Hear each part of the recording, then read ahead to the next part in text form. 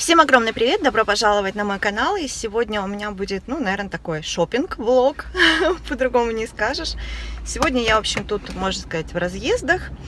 Заехала сейчас в ленту. И, девочки, никогда не ходите в магазин голодный. Никогда не делайте этого. Даже я сейчас человек, который ну, я могу себя контролировать, я могу пройти мимо вкусняшек, сладостей и тому подобное. Но нет. Сейчас я вам покажу, что я купила.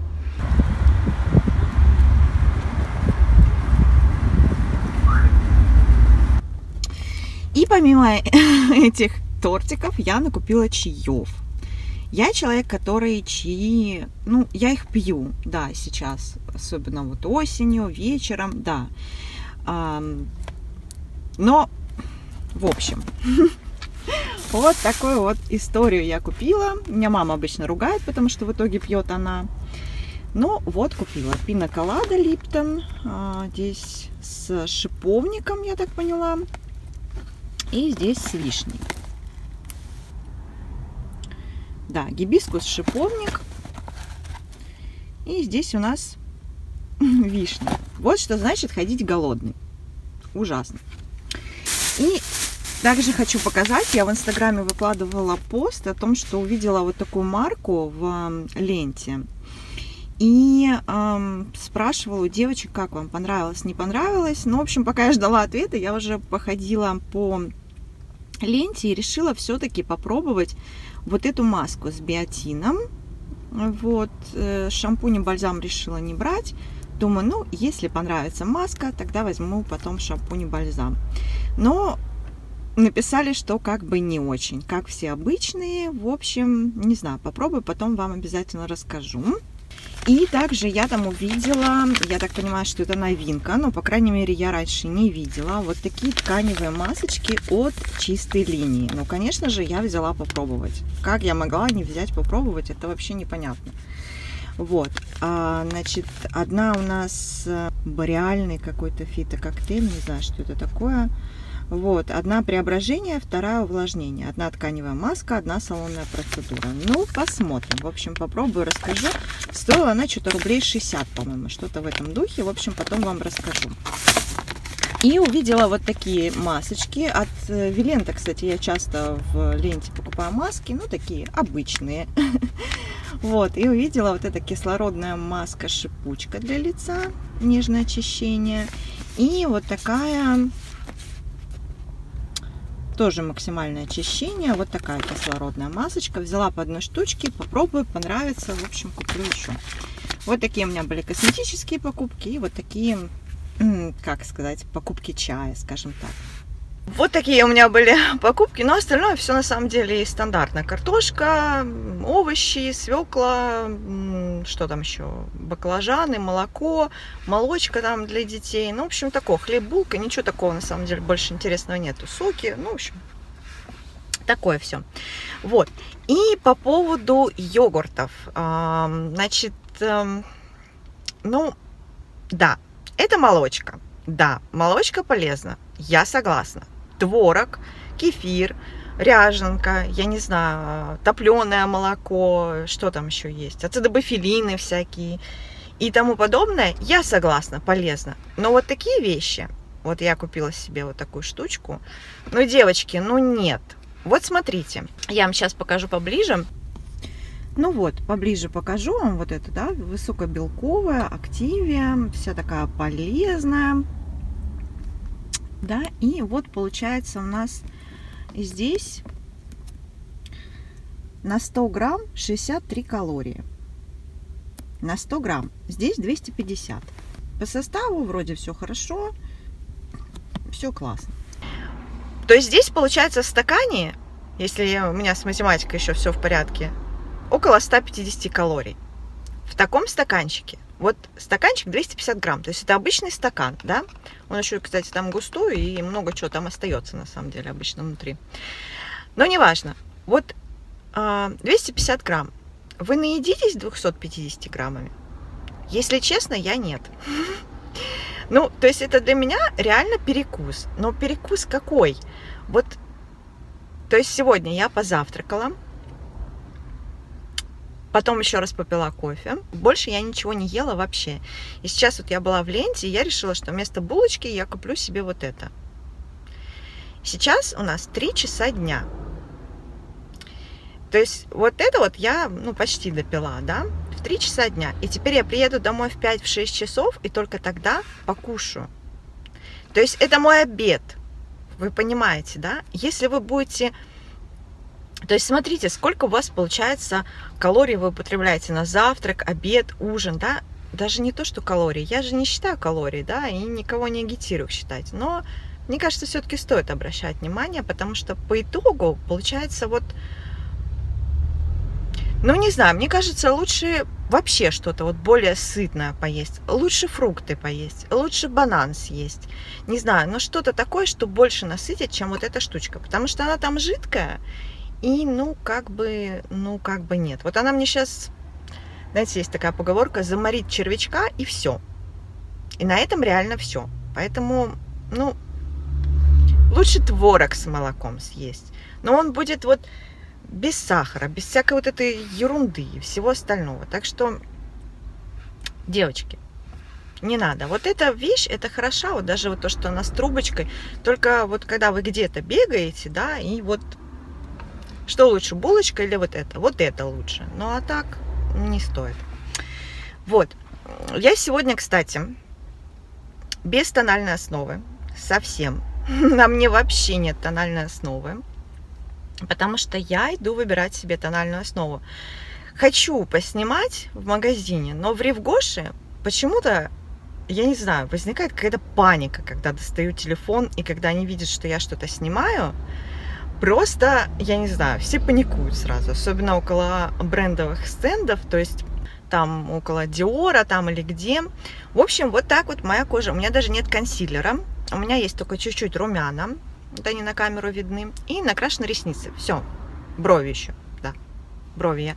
Я брови подкрашиваю вот здесь вот немножко. Вот в этой части, где у меня есть пробелы. Но я уже показывала. Все, косметики больше на мне нет, потому что я хочу подобрать правильно тон, и я хочу его потестировать вот на этой части. В общем, пойду, если получится, я постараюсь поснимать.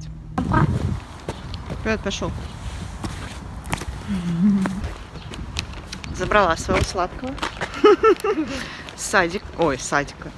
Школа. Со школы, да. Да? Сладкий. Тираешься обо всем. Нет. Да. Мама тебя снимать будет за это. Нет.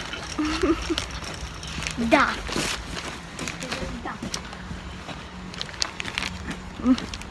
Ну что ты?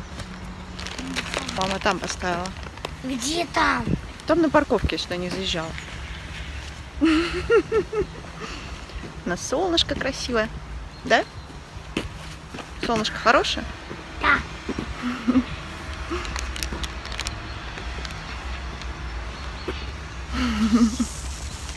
Все равно попадаешь в кадр. Мы что, такое веселые? Да? Веселуха у нас. Мы же приехали домой, я забрала своих деток уже с садика, со школы. И сейчас вам покажу свои покупки из магазина Ривгош. Значит, это, как вы поняли, тема натуры Сибирики меня вообще не, не оставляет нисколько. К сожалению, в Ривгоше нет ухода за лицом от натуры Сибирики. И это линейка Флора Сибирика. А, значит, приобрела я себе шампунь, бальзам и маску для волос – и все это у меня, получается, разные линейки, потому что одной линейки я там ничего не нашла. То есть все разные. Взяла вот такой шампунь. Абсолютное восстановление женьшень сибирский. Ну, в общем, не знаю, попробую. Он, кстати, не очень приятно пахнет. Вот у него аромат такой, знаете, как, я не знаю, каким-то перчиком, что ли, отдает. То есть, ну, в общем, да, это какой-то супер органический. В общем, попробую, потом обязательно вам расскажу. Очень мне понравился аромат вот у этого бальзама для сухих волос. У меня как раз волосы сухие. Он такой внутри, как видите, крем. Вот. И аромат очень такой приятный, какой-то сладковатый, не знаю, даже какой-то вот, ну, наверное, шиповник, да, но не цветы даже вот эти, не лепестки такие горьковатые, а именно такой, э, ну, вкусный, приятный, такой сладковатый аромат. Не знаю, насколько долго он будет э, оставаться на волосах, но очень вкусненько пахнет. И я, наверное, его взяла именно из-за запаха. Если бы был там вот такой гель для душа, а мне девушка-консультант сказала, что есть вот тоже из э, даурской розы, я не знаю такую розу, честно. Вот, она сказала, что есть у них такой же гель для душа, я бы взяла бы с удовольствием, потому что аромат просто потрясающий. И решила взять в дополнение еще вот такую маску для гладкие послушные волосы. У меня, как я уже говорила, волосы вьются, плюс еще концы поврежденные, Поэтому я решила, что вот такая масочка мне не повредит. Я обычно, кстати, вот про уход за волосами, то есть я очень люблю пользоваться одной маркой. И делаю обычно так, то есть мою голову шампунем, потом наношу маску, маску смываю, после маски обязательно бальзам. Почему я так делаю? Потому что волосы вьющиеся, так как они у меня длинные, они распрямляются под своей тяжестью, да, ну, из-за длины, скажем так. И они получаются такие и не прямые, и не, и не кудрявые. То есть что-то такое среднее, пушистое, как удуванчик. И именно поэтому я всегда использую бальзам, чтобы сгладить волос. Или какое-то масло наношу. И еще одна моя покупка, в принципе, то, ради чего я шла в Ревгош, это тональная основа, вот такая Dior э, Forever.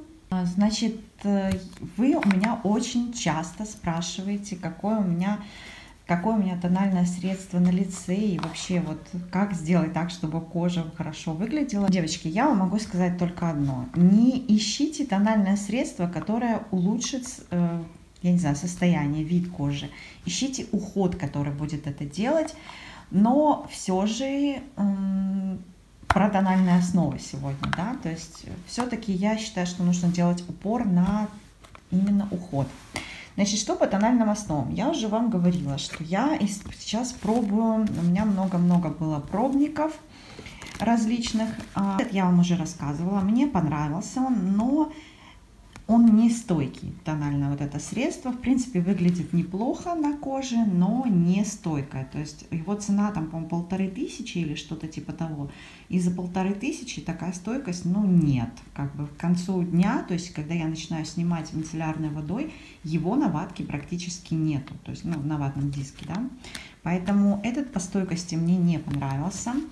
Также у меня было несколько пробников вот такой тональной основы. Я показываю вам только один, потому что я их выбрасывала. А потом вы стали часто спрашивать э, про тон, и я решила оставить, показать. Вот этот вот мне не понравился. Почему? Потому что он как бы более такой суховатый, что ли, не знаю. Но вот по текстуре мне не понравился. По тому, как на лице выглядит, мне понравился. Но немножко как бы подсушивала, что ли, кожу, не знаю. Ну, в общем, не особо. И просто потому, что я попробовала что-то лучше. А лучше это вот эти два тональных средства. А, во-первых, вот этот крем, BB-крем от Миши. Очень он мне понравился, кстати, очень классный, но единственное, что он не очень хорошо перекрывает все-таки. Кожа при этом выглядит очень хорошо, достойно, красиво, держится целый день. То есть, в принципе, мне понравился, и это, наверное, будет следующая тональная основа, если только у меня какие-нибудь еще пробники не появятся, которую я приобрету. Поэтому вот этот пробничек я прямо себе оставлю или сфотографирую, чтобы знать, что я хочу приобрести. Мне понравился, очень, действительно достойный продукт. В общем, вот это вот очень понравилось. Поры не забивает ничего, но больше всего из всего того, что я попробовала, мне понравился вот этот. У меня тоже было три штучки вот этого, вот этой тональной основы от Dior. Вообще, это матирующая тональная основа, а, то есть она дает матовый финиш, но я бы так не сказала. То есть, так как я наношу различные увлажняющие крема, там, сыворотки, то ну не знаю, сильно прямо матовость, вот прям такую сильную, сильную, прям, чтобы сильно матовая кожа была, он не дает. Он очень классно, не знаю, очень классно выглядит на лице, не сушит кожу, никуда не проваливается, не забивается, держится целый день. Кожа выглядит просто потрясающе, как будто, я не знаю, вы неделю провели у косметолога или не знаю, спали всю ночь и все у вас хорошо. То есть вот это средство мне очень сильно понравилось. И как вы поняли, я купила себе полноразмерную версию. Единственное, что вот это у меня было в 20 оттенке 0,20 Light Beige. А я себе взяла чуть потемнее 0,21 оттенок, потому что вот этот немного был светловат для меня. То есть я, когда пользовалась вот этими пробниками, они, кстати, все у меня были в 0,20 оттенке, я добавляла всегда бронзера немного, чтобы не было сильно такое светлое лицо. А вот 0,21 мне сейчас как раз очень хорошо подходит. Вот видите, такая маленькая капелька. Его нужно совсем-совсем чуть-чуть. Он очень хорошо подстраивается под кожу. Вот, я его распределила, а, видите, и получается он не матовый дает такой эффект, а слегка, ну не знаю, как отдохнувший, холеный такой кожи. Мне очень понравился. Я, ну вот еще его поношу и уже точно скажу, рекомендую я или нет, но вот по трем пробникам я была просто в диком восторге. Вот этот мне понравился больше, чем вот этот. Сейчас там у них появилась какая-то новая водостойкая линейка, а, но как-то вот я решила, что раз уж я попробовала этот, раз уж я его хочу, то надо и брать его. И давайте по цене я вам сейчас сориентирую, чтобы вы понимали. Значит, вот эта тональная основа, она стоит, а, получается, по карте золотой 2 471. Ну, очень она классная, мне очень понравился. Значит, шампунь, а, вот эта Натура Сиберика, которая, да, 451 а, рубль по карте. Бальзам, получается, 422. И маска 313 рублей. Вообще ее, конечно, надо пробовать. Вот видите, она не матовая кожа, она немножко такой блик дает. Ее, конечно, нужно... Сейчас я ее сильно не распределяла, поэтому видите, чтобы вы видели, где, где она есть, да. Но она очень мне сейчас подходит по оттенку. В общем, ну не знаю, то есть видите, такие как бы блик такой немножко дает коже. В общем, она очень классная, и при этом она очень хорошо перекрывает покраснение лучше, чем вот это. Вот это а, тональная основа покраснения практически не перекрыла. Вот это перекрывает, но вот это просто все-таки, не знаю, супер классно. Вот такие вот у меня были покупочки. А, и еще я там, конечно, тестила различные ароматы. Я не знаю, я как-то без ароматов сейчас вообще не могу. Я мне хочется что-то новое, мне хочется что-то, не знаю, что-то вкусное, сладкое. Я просто в последнее время какой-то маньяк, честное слово. Вот, и попробовала один аромат, и, девочки, я не буду коверкать язык, я вам просто вставлю фотографию. В Ривгоше мне, конечно же, не дали поснимать. Ко мне сразу подошел охранник, сказал, что там какие-то эксклюзивные коллекции, туда-сюда, снимать у них нельзя. В общем, Разрешили только сделать фотографии. А, там парфюмчиков, которые мне понравились. И вот этот парфюм, который я вам сейчас показала, блин, он просто божественный. Вот он, я его нанесла на тело, и там даже было написано, что это духи, а не, эм, а не какая-то парфюмированная или туалетная водичка. Я дико извиняюсь за освещение, просто уже очень темно.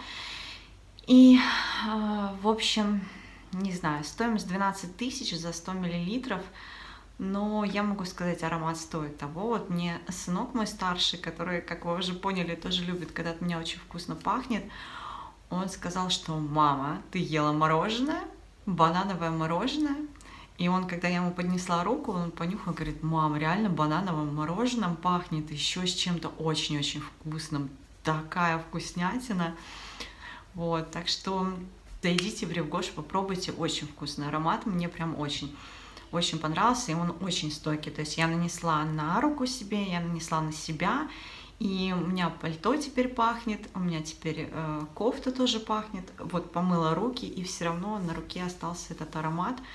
Просто очень красивый, не знаю, вот прям вкуснятина, в общем. Но я как-то в этом месяце не планировала парфюмерию покупать, но я думаю, что... Ой, в общем, да. Ну, а на сегодня я буду заканчивать свой небольшой влог. Получился он такой шопинг влог что-то в этом духе.